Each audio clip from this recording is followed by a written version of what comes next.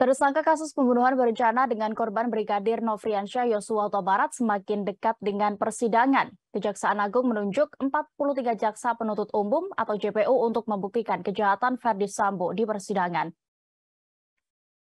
Terdekat puluhan JPU itu ditugaskan terkait dugaan tindak pidana obstruction of justice dalam perkara tewasnya Brigadir J. Mereka ditunjuk untuk memantau perkembangan penyidikan kasus tersebut. Hal ini sesuai dengan Keterangan tertulis Kepala Pusat Penerangan Hukum Kejaksaan Agung Ketut Sumedana pada hari ini Senin 12 September 2022. 43 jaksa dipilih setelah Jaksa Agung Muda Bidang Tindak Pidana Umum atau Jampidum Kejagung menerbitkan surat perintah penunjukan JPU Ketut menjelaskan sebelumnya Jampidum menerima surat pemberitahuan ketetapan tersangka dari Direktorat Tindak Pidana Cyber Barreskrim Polri atas nama satu orang tersangka yaitu Fer, tersangka Ferdi Sambo. Pemberhat, maksud kami, pemberitahuan itu berdasarkan surat pemberitahuan ketetapan tersangka tahun 2022 di Tipit Cyber tanggal 1 September 2022.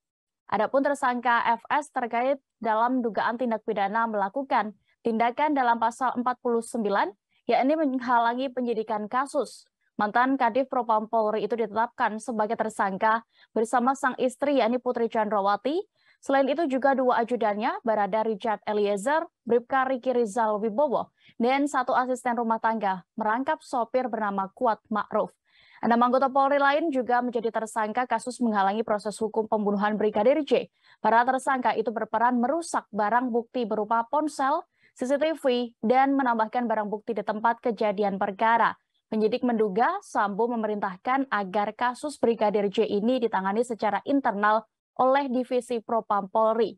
Dia juga memerintahkan agar kamera pengamanan alias CCTV di sekitar rumah dinasnya dicopot.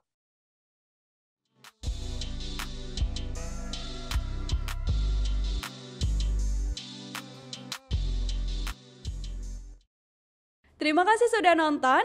Jangan lupa like, subscribe, dan share ya.